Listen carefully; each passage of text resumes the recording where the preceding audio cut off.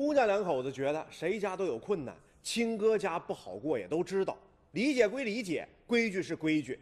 当初白纸黑字签订的协议，那不能是一张废纸啊，那得执行啊。那就问问李大娘儿子怎么个事儿。话是这么说，但是李大娘儿子家的情况啊，那老爷们儿说话这么费劲呢？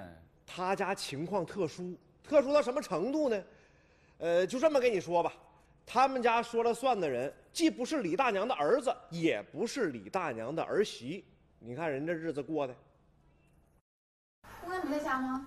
姑娘没有，啊，在哪儿呢？要不他需不需要他回来？咱们一起不需要她回来，不需要那你一定，能做主是吗？不需要。对，啊，兄妹俩还签了一份协议，说就是五亩地。完事他那家也同意了，给一个，人地。当时商量不挺好的吗？啊，那咱们也同意了？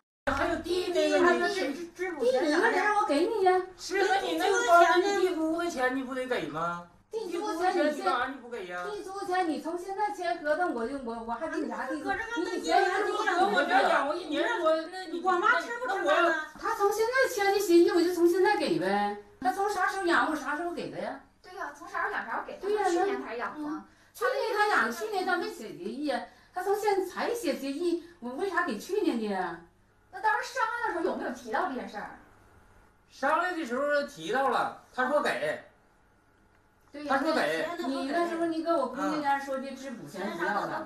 支补钱不要完，你现在又要支补，那不行，你按我就得按协议，你就是打官司就也得按协议写，你啥时候写协议啥时候就就按啥时候算。那我要是八辈，我要是说十年不找你的话，就是就我这么养活十年，完了等到啥还啥时候签协议，这老太太就对呀，就白搁这儿，就是那老太太不是我送你家去的，现在看，双方出现分歧，都因为协议内容上没有具体写明给付租金的起止日期。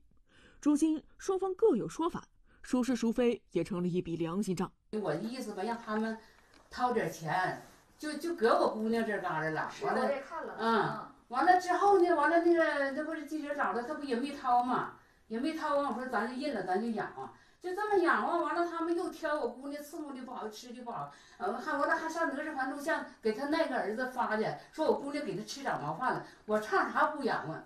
知不知道？就就差这个。啊，就是你们觉得他们污蔑你了，然对后你不想养了，是这个对呀、他我姑娘残疾人，呃，伺候能能像正常人，正常人还不一定能伺候好呢，但是还挑我姑娘伺候不好。他上那嘎去说说他嫂子，你咋不给妈交手指盖呢？我姑娘残疾，自己手指盖都交不了。我从来没说啊，说我嫂子说，没说，是可得了。说给我妈交行了，那过去事儿吧，咱都我从来没说了。你们自己那你要昧着良心的办事儿就行。那可不是人在做，天在看，我告诉你，人人都有老这一天儿。现在你说老？太太搁家呢，你说你为啥你把那个就厨房门锁上呢？我就纳闷。为啥给厨房门锁上？你知不知道？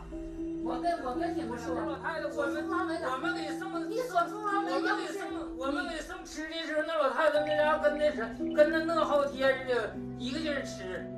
给厨房门锁上，老太太给他盛饭都给他端大屋去，他锁厨房门。我姑娘就怕他上上屋摸这摸那的，